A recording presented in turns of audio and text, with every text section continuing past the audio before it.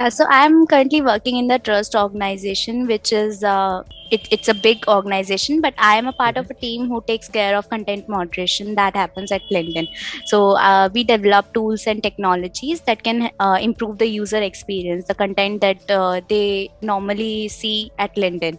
So Mhm. how can we improve that, and how can we make sure that it is relevant to the LinkedIn mission and vision, and Mhm. it is not a spam content that can harm any feeling or you know that that can harm the vision and mission of linkedin so Okay. i work in uh, those tools and technologies and my day-to-day activity involves uh, like developing those tools only. So for example like uh, how can we add multiple features or how can we add a multi review for the content so that we get uh, you know appropriate flagging that okay this is the this is actually a content we should um, you know take down from linkedin